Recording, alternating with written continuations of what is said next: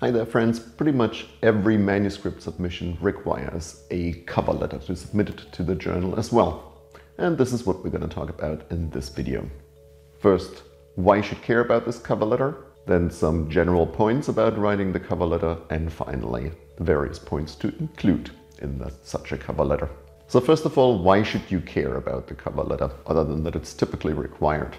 Well, it is really the first thing a journal editor sees from your paper. They will read that cover letter. Now, normally journal editors will not make a decision on your paper without also having read your paper, of course, but your cover letter is a very good opportunity to make a good first impression. It's a great opportunity to succinctly explain why your paper is important in your particular field. So the importance of such a cover letter typically increases with the perceived prestige of a journal.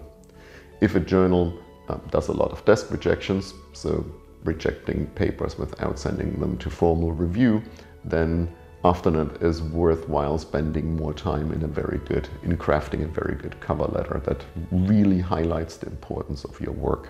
And as I said, the cover letter is typically required, so you might as well get it right. And here first are some general points on writing a cover letter.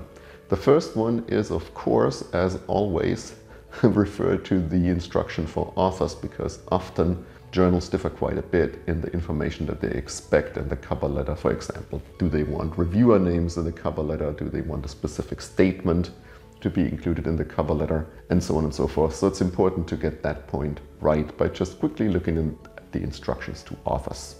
The second point is don't make that too long. I would recommend staying on one page, maybe one and a half pages, but really don't make it any longer than that because um, I think the editor will run out of patience if you give them too much text. And so make sure that you just convey the most important and salient points about your paper. Also, don't just repeat your abstract. I mean, the abstract is also available for the editor to look at, but use this cover letter more to emphasize really the unique selling points of your paper, why it's unique, why it's special, given the background in this particular field. Now, having said that, don't over embellish your cover letter with uh, superlatives and claims of this being the first to do something. I mean, keep it still in a, in a neutral tone and just point out what is special about your paper without resorting too much to exaggerated claims, because I think that reflects badly on um, you. So basically, keep neutral language, but stating very clearly what's special about the paper. And then, of course, check for typos, as always. Um, make sure you get the journal name right and also make sure you get the editor name right if you're addressing an editor by name. So what to include in your cover letter? The first is who you address the cover letter to, to the journal staff.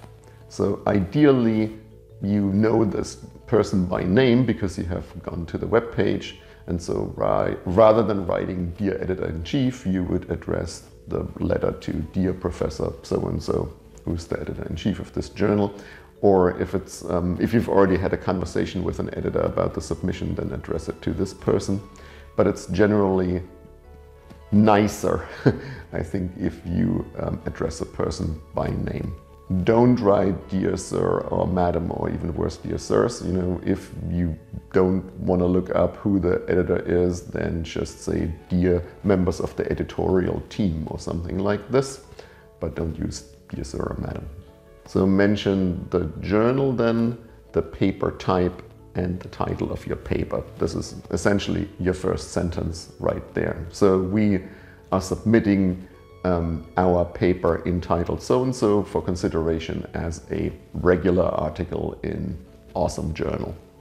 So this would be the first sentence basically. Next comes then a super brief background section that just puts your paper in context. So what is this basically on and in what general realm is this paper? What, what problem does it try to solve and why is this an important problem? This is super basic information on the background of this paper.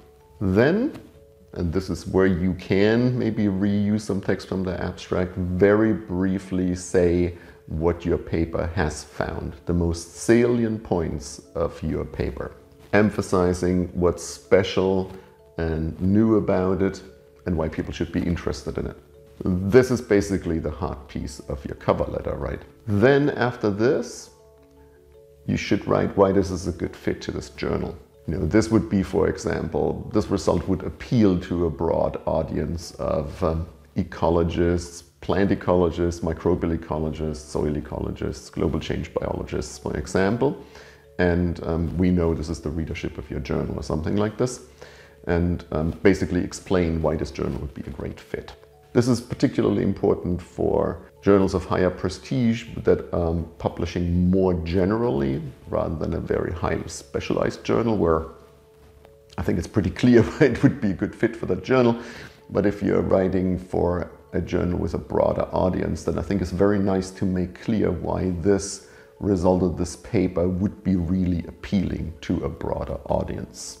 Then generally, I think it's good practice to have a statement that this paper has not been submitted elsewhere, um, is not under consideration in, um, at another journal, for example, and that all authors have agreed to being so named.